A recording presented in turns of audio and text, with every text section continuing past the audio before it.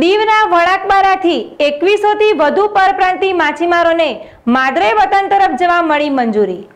પરપ્રાંતીય માછીમારોને વતન તરફ જવા માટે મંજૂરી મળતા તેઓમાં ખુશીનો માહોલ જોવા મળ્યો હતો અને તેઓએ સંબંધિત રાજ્ય સરકારો અને દીવ પ્રશાસનોને આભાર માન્યો હતો.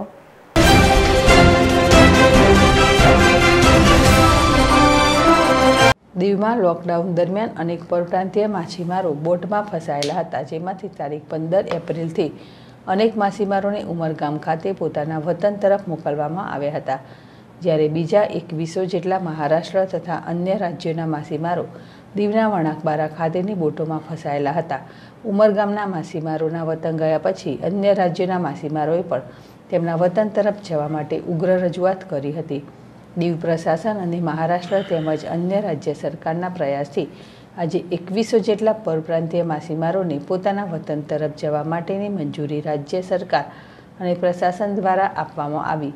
આજે દીવથી દસ જેટલી બોટો રવાના થઈ, જેમાં પરપ્રાંતીય માછીમારો પોતાના વતન મહારાષ્ટ્ર અને અન્ય રાજ્યો તરફ જવા નીકળ્યા. બોટમાં નીકળતા પહેલાં આ માછીમારોની તકેદારીના ભાગરૂપે તબીબી ચકાસણી કરવામાં આવી અને માસ્ક સેનિટાઈઝરની પૂરતી સમજ આપીને અને રસ્તામાં ખાવા પીવાની વ્યવસ્થા સાથે તેઓને બોટ મારફતે મોકલવામાં આવ્યા. પરપ્રાંતીય માછીમારોને વતન પરત જવાની મંજૂરી મળી જતાં તેઓમાં ખુશીનો માહોલ જોવા મળ્યો હતો અને તેઓએ સંબંધિત રાજ્ય સરકારો અને દીવ પ્રશાસનનો આભાર વ્યક્ત કર્યો હતો.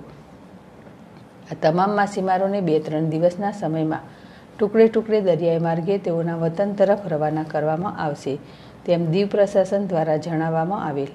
નોંધનીય વાત એ છે કે દીવ પ્રશાસનના માર્ગદર્શન હેઠળ દીવના DYSP Ravindrakumar Sharma, Vanakbara incident commander Bharat ડીવાજા coastal police station in-charge Deepak Vaja, Diu coastal police sub inspector Balrajsinh PSI Bharat Parmar અને દીવ જિલ્લા માછીમાર એસોસિએશનના પ્રમુખ લક્ષ્મણભાઈ સોલંકી વગેરેની હાજરીમાં દીવની મેડિકલ ટીમ દ્વારા બોટમાં રવાના થવાના માછીમારોની તબીબી ચકાસણી કરવામાં અને જે બોટ રવાના કરવામાં આવનાર હતી તે બોટને ફાયર બ્રિગેડની ટીમ દ્વારા સેનેટાઈઝ કરવામાં આવી. આ રીતે સંપૂર્ણ તકેદારી સાથે પરપ્રાંતીય માછીમારોને તેઓના વતન તરફ મોકલવામાં આવ્યા.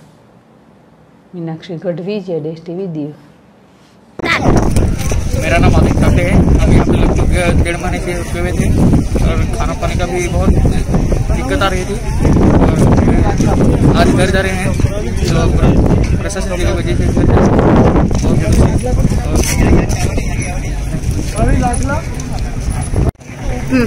प्रशासन की वजह से आज हम घर जा रहे हैं। तो उनका बहुत बहुत धन्यवाद।